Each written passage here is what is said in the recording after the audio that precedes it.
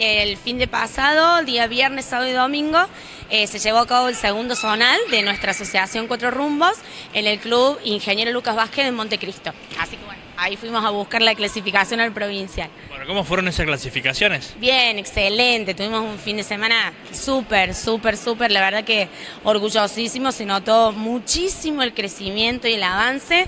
Teníamos cuatro patinadoras en competencia y esta vez se sumó una más. Así que tuvo su debut. eh, pero muy bien. La verdad que un rendimiento y un desempeño espectacular.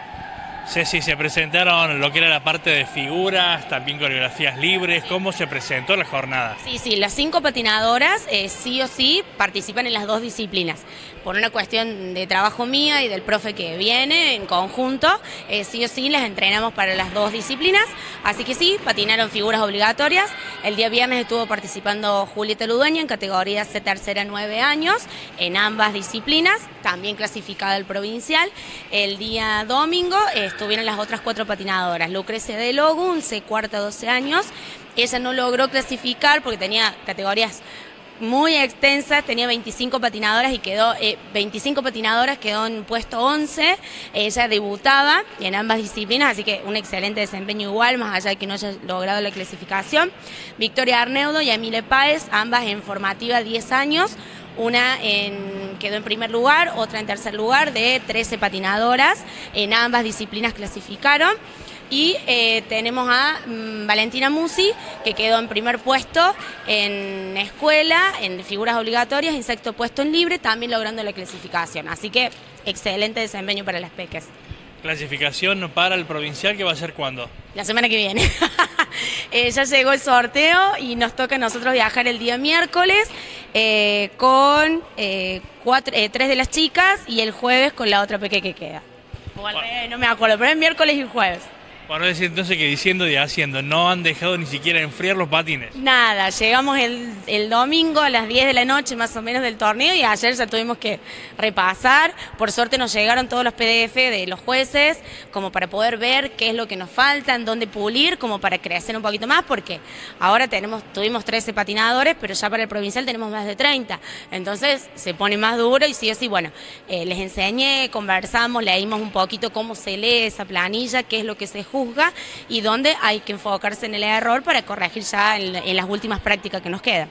Qué bueno que les llegue ese soporte a ustedes los profes, ¿no? Sí, sí, este es, de- es, eh, digamos, nuevo sistema de, de juzgamiento rolar, que cuando se empezó a implementar empezamos a estudiarlo, empezamos a entender los códigos, entender los puntajes, el valor base, cómo aumentar, cómo suplantar, que, dónde podemos enfocar un poquito más, así que está buenísimo para trabajar sobre el error. Más allá, Ceci, de la práctica, ¿no? Por ahí intensiva, quizás los últimos días antes de ir a, a un torneo. Qué bueno que los chicos puedan participar de estos encuentros donde creo que la experiencia cumple un rol fundamental. Sí, súper. Yo siempre digo, por más que uno tenga muchísimas horas de entrenamiento, no es lo mismo que ir a un- una competencia.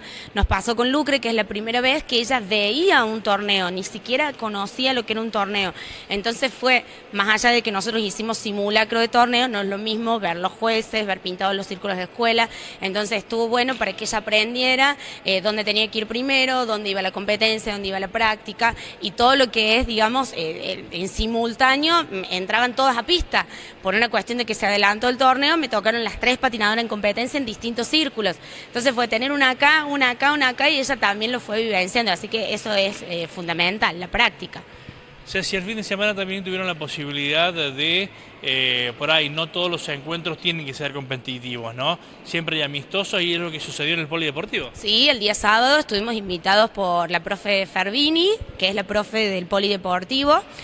Mm, También estuvimos que llevamos poca gente, porque nosotros somos más de 60 patinadores, llegamos cerca de 30, porque nos, digamos a último momento yo le pude confirmar si iba a poder asistir por el tema del torneo. Nosotros tenemos el calendario anual y ya tenemos las fechas. Entonces yo hablé con ella y le dije, mira Fer, tengo que esperar el sorteo. Había hecho un pedido a Federación que me liberaran el día sábado para poder ir, pero bueno, por ahí se da que te dan bolilla y por ahí no, porque son muchos los pedidos y por suerte me liberaron el sábado para poder ir porque mis alumnas ni las más grandes querían ir solas si no las acompañaba, así que por suerte me tocó poder acompañar y estuvimos participando.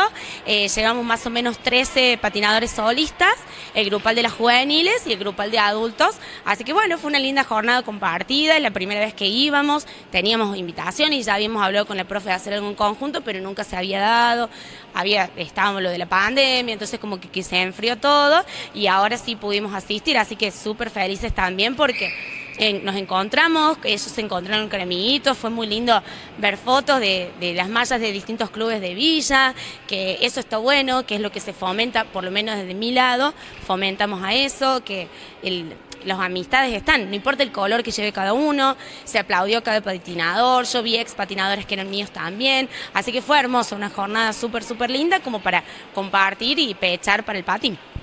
Ahora entonces a trabajar para la semana próxima. Para ayer, sí, sí, estamos trabajando a full porque la semana que viene tenemos el provincial y estamos preparándonos para nuestro encuentro amistoso que se lleva a cabo ahora el 17 de septiembre, donde participan todos nuestros patinadores y también hay clubes invitados. Así que estamos eso y paralelo ya empezamos a practicar y empezamos a marcar algo de las coreografías de fin de año. ¿Qué va a ser? Ya tiene fecha la gala final. Domingo 11 de diciembre, eh, calculamos algo de 20-30 horas en, en el Salón Sociedad Italiana.